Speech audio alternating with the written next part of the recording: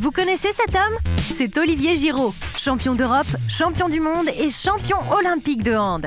Et capitaine, rien que ça Aujourd'hui, Olivier a rangé son ballon et c'est sur son skate qu'il nous emmène avec lui à Londres. Rencontre avec les sportifs, entretiens exclusifs avec des passionnés de sport, anecdotes, histoires insolites, chroniques d'un mordu de sport. Girostar, c'est maintenant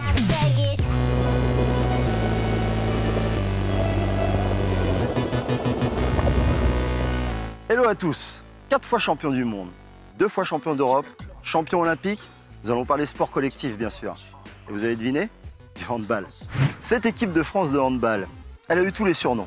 Bah, les Barjots, le premier nom qu'on a connu euh, à l'époque des JO de Barcelone, les Costauds, championnat du monde 2001 gagné en France, et finalement à partir de 2005, les experts et ces experts qui ont tout ravagé sur leur passage depuis ces dernières années. Mais petit hic, au dernier championnat d'Europe, l'équipe de France de handball est passée à côté de son sujet. Plusieurs raisons pour ça. Une préparation un peu tronquée, raccourcie, peut-être la fatigue aussi, parce que quatre compétitions gagnées de suite par cette équipe de France. Et la troisième raison, l'équipe de France étant la seule équipe déjà qualifiée pour les Jeux Olympiques, elle a affronté des équipes qui avaient beaucoup plus envie qu'elle. Les points forts de cette équipe de France, une équipe où les joueurs se connaissent très bien. Certains joueurs ont plus de 15 ans d'équipe nationale. Imaginez l'affinité entre les membres de cette équipe. C'est une équipe qui a appris à gagner. Sur 8 finales jouées par l'équipe de France, 7 ont été remportées. Les points faibles. Un des dangers pour l'équipe de France, c'est sa nouvelle médiatisation qui peut perturber son mode de préparation. Car en effet, chaque minute consacrée aux interviews sont des minutes perdues pour l'entraînement.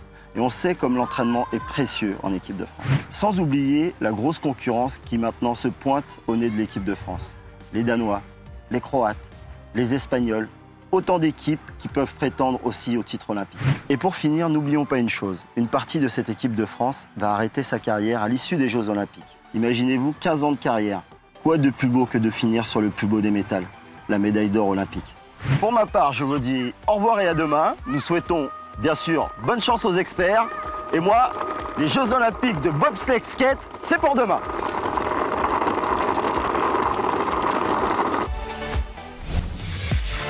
Sporty News, spécial Londres, c'est fini pour aujourd'hui. On revient vite.